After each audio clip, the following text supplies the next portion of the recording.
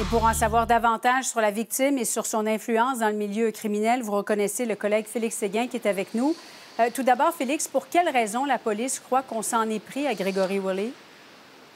Bien, il y a deux théories et pour parler de la première, il faut parler de l'éléphant dans la pièce. Il s'appelle Frédéric Silva. C'est ce tueur à gages devenu collaborateur de justice il y a plus d'un an qui aurait confessé plus d'une cinquantaine de meurtres et la police croit que le un des commanditaires de ces multiples meurtres, une personne qui traitait énormément avec Frédéric Silva. D'ailleurs, on les a vus euh, en photo ensemble, prises en filature pendant l'opération Mago Mastif. C'était Grégory Willy.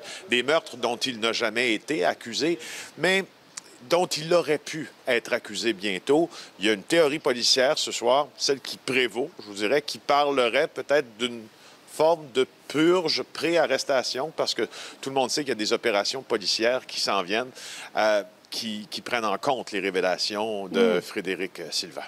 Et Félix, il y a donc des changements à prévoir au sein du crime organisé?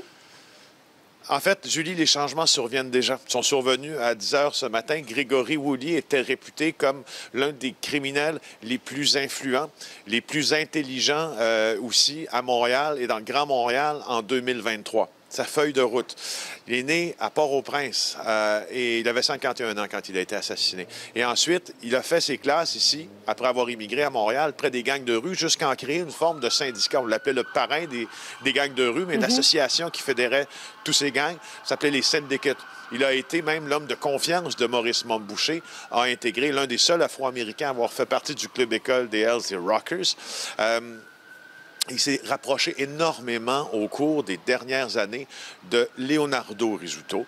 Il, avait été aussi l'homme de confiance de son père, Vito. Alors, pour tout dire, euh, l'équilibre fragile du crime organisé montréalais qui repose sur le pouvoir de certains clans et leur collaboration, selon des sources policières, est mise à mal par l'assassinat de Grégory Woolley qui permettait à Leonardo Risuto de rester fort, lui qui a même été victime d'une tentative d'assassinat en mars dernier. Alors ça maintenant, c'est moins certain.